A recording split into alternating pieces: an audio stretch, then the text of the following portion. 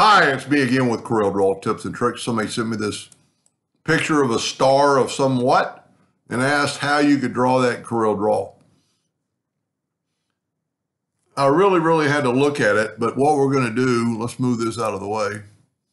And I'm going to take a just a five-sided star, holding down the control button to make a perfect star. At this time, I'm going to make it like, well, let's make it a little bit thicker, make it 24 points. For this to work right, I think you've got to go to object and convert the outline to an object. I'm going to go ahead and make it gray. Now that is an object. So now what we can do, we can, it looks like it's skewed.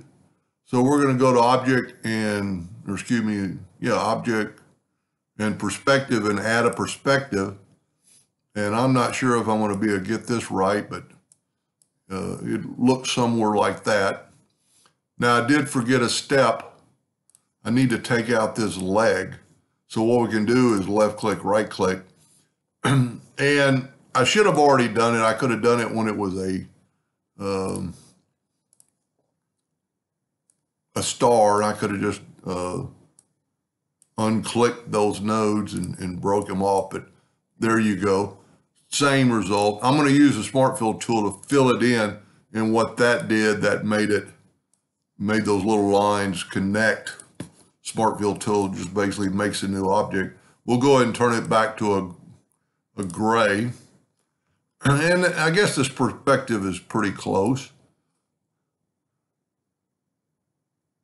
Oh, you know what I did? I, I took out too many legs. Um, let me back up here. I should have just taken this leg away. So what we're going to do is take a another two point line and go from there. I'm going to go ahead and go straight down. Now we'll get rid of this line and we'll just delete that line. Now, same thing, Smart Fill tool to fill that in. And what that did, that gave us that color or that shape. And the other way, I might, if I have time at the end, I might show you what I would have really done first. Now we're going to go to the extrude tool and we're going to grab it like right here. We're going to extrude it. But I'm going to go right here and grab this one and see how it made it quite differently.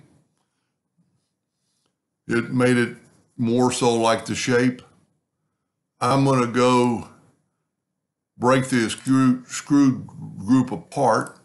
I'm going to select it all. I'm going to give it an outline. Now this is broken in half. So we can take this out of the way, and that's actually the other part, which we don't really even need in this case. And then what we do, and he, they did say that they didn't care about the colors. Now, because we've got the extrude group broke apart, well, that should work. That's good enough. I'm going to get rid of that line. All the other line. You know what? I'm going to get rid of that line. Nah, I can't because it's hooked to there. Now just take your Smart Fill tool and start picking colors. Whoop. Get the Smart Fill tool and let's go with, well, let's, what I did is I have it checked, uncheck it, change the color to blue. Whoop. Well, I guess I have to do it up here. Get your color swap, pick that, and let's make that one blue. Let's make the next one green. Uh, let's make the next one a darker green. Let's make the next one red. So color in everything but that border um, is what I'm thinking. Let's do a pink.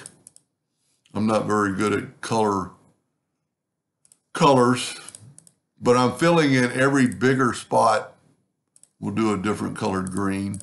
Now there's a little part right up here that we can actually fill in. So we'll grab the Smart Fill tool and let's do that burn orange. Now you need to decide what you want on the edges. And I'm going to just go with black and see what it looks like. Whoop. There's only a few edges showing. I think that, well, there's one more right here. And of course, you could use whatever color you wanted. now, since I did say you don't need this one anymore, we'll just delete it. Because now we're going to fill in the outside edge and, you know, you could do any color you wanted. Um, try to use a color we haven't used. Let's go with this dark purple. And take away the lines by right clicking your mouse. And the only thing, they put a black box around it, which I've started doing a lot lately. It really makes stuff stand out. Go up to object, order, back a page. Now my black borders kind of blend in, but in a way it's kind of nice. It's still a group, so we can grab that and make it, we could make it white or make it, you know, blue. That looks pretty good. That's, I did a little bit different than they did, uh, but that's all in the, you know, I could have skewed it up. So I'm going to go through what I should have done at first.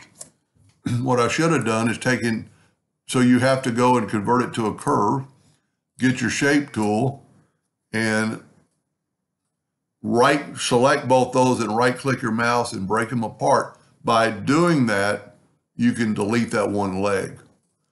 And then this this is the time you would make it that 24 36 points, whatever you made it.